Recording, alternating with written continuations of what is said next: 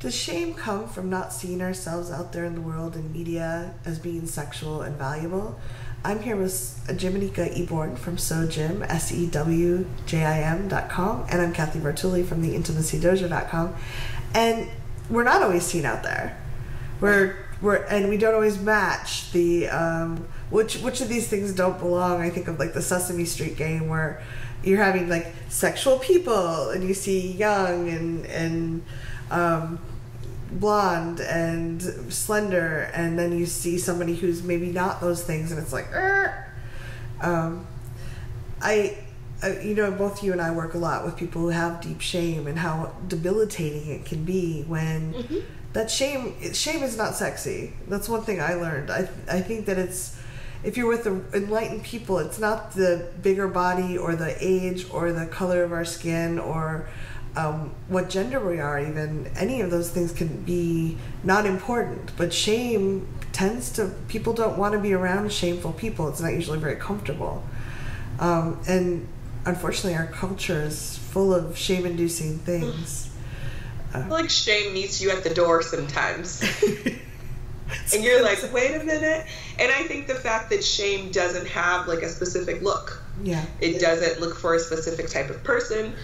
Anyone can be shamed, which is kind of scary. And the way it affects people and holds on to them, it's it can be like jaunting. Like it's crazy to see someone that's like full of shame that they can't even like maneuver through life. Yeah.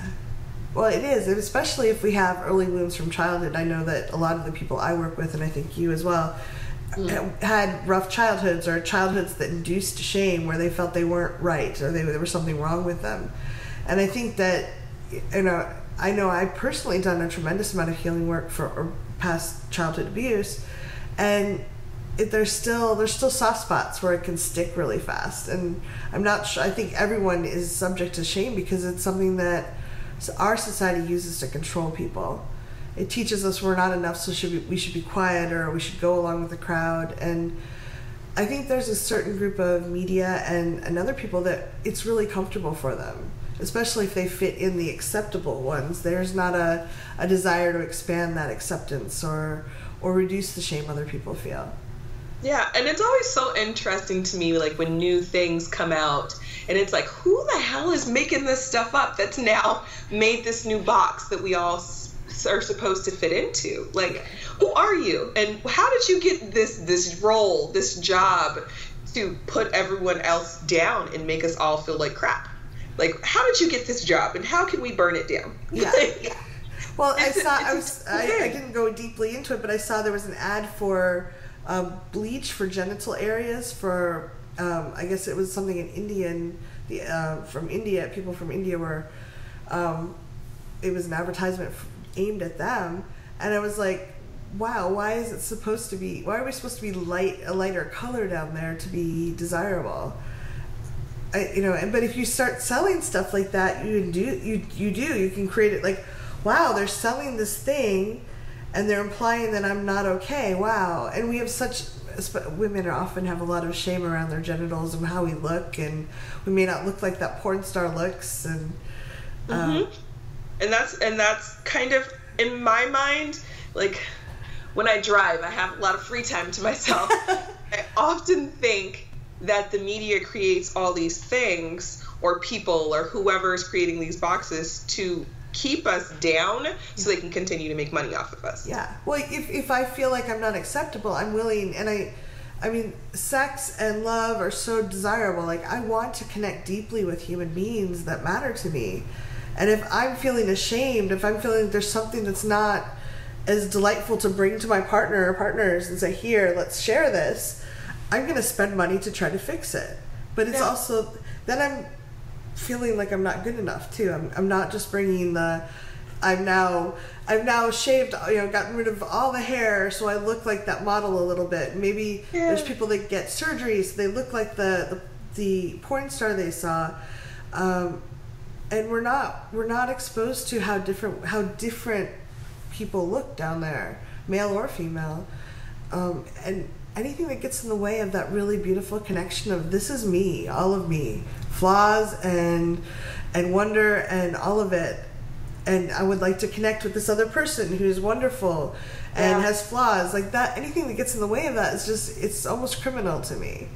Yeah, and I think that um, we kind of talked about it earlier, not in this video, but that kind of leads to like you have to work on yourself. You have to figure out who your authentic self is, or you will fall into this vicious cycle of life that everyone falls into. Again, no one is exempt. There's no like, oh no, you've made it, cross the line.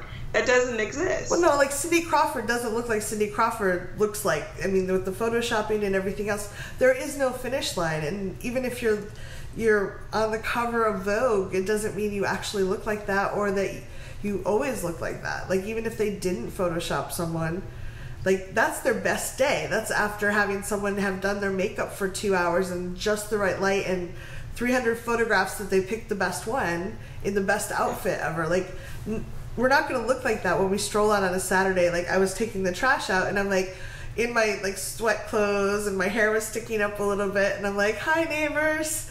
Um it's we don't look like that on an everyday. None of us can. No, and it's true. We can't. I mean, no one wakes up with that much makeup on looking beautiful every day. If so, I don't know what your secret is. And also, you may have bad skin because you need to wash your face. but it's like waking up every day, we have like a different fight. Um, and so that's kind of like I get up in the morning, and before I get it, I meditate to get my mind right for whatever else is happening in the world. Yeah. It's you have to build yourself up because you never know what's going to be waiting for you at the door. Yeah, absolutely. Yeah, I'd love to come back and do another video on finding that authentic self because I think for a lot of us, there's not a clear path to that, and we might have been struggling with that. I'd love to hear Oh, what sure. you think about that. So, if you have any Yeah. comments or thoughts, we'd love to hear. This is a topic dear to both of our hearts. Um, Jimanekia, how can they reach you if they wanted to send you a, quest- a question directly? Yeah, um, I have a contact space on my website, sewjim.com, and it goes straight to me, and I respond back within 24 hours, and normally really quick, like within an hour. Yeah.